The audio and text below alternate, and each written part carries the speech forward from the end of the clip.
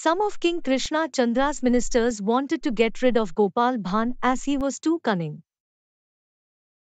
So they devised one plan, they employed the local barber, as the barber's shop was a place of gossip. He was the king's personal barber.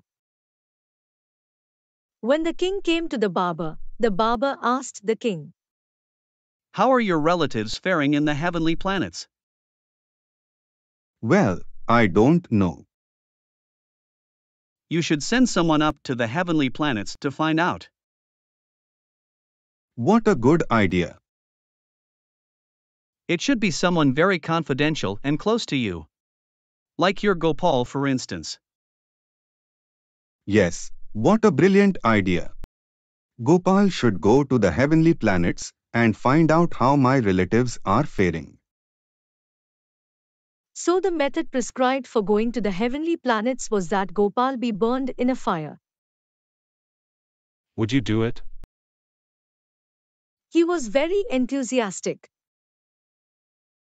Yes, of course, I will do it. So the ministers were very pleased.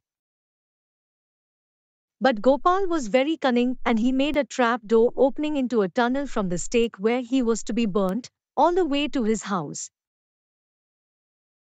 They performed the ceremony.